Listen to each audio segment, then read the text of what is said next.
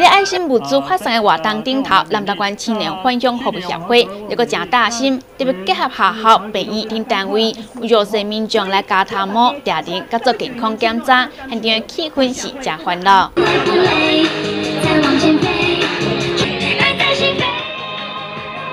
木棉花关怀协会，感谢各位协会和社福单位的呃呃协助。礼拜。到三工就了啦。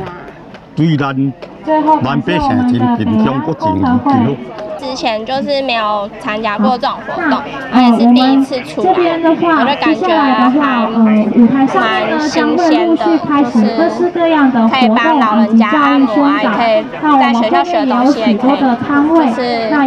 因为这几年经济无景气，加上生活物资一直起，看到弱势家庭的困境，所以南投县青年分享服务协会，过年前来成立事务银行，希望透过社会大众的资源，做回来帮助弱势民众。我们看到。很多的家庭生活的状况并不是说很好，可能他缺的都是一些食物类的物资，他平常可能有时候连一包米可能都觉得呃是